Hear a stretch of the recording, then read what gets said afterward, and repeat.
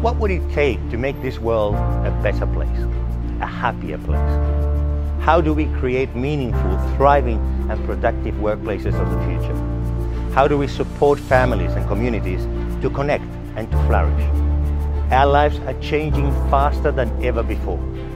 Stress, anxiety, burnout, depression, they are all at an all-time high. As we move forward into the future, we must rethink how we approach mental health, well-being and resilience, both at work and at home.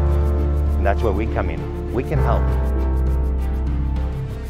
The WMHI is a global company that helps people to become better versions of themselves and helps workplaces build stronger, more resilient and mentally healthy workforces. When it comes to well-being, a proactive approach is always best.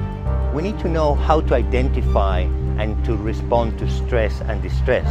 But we also need to know how to build emotional fitness and stamina to prevent problems from arising in the first place. For organizations, that means that they get a positive ROI and better business results.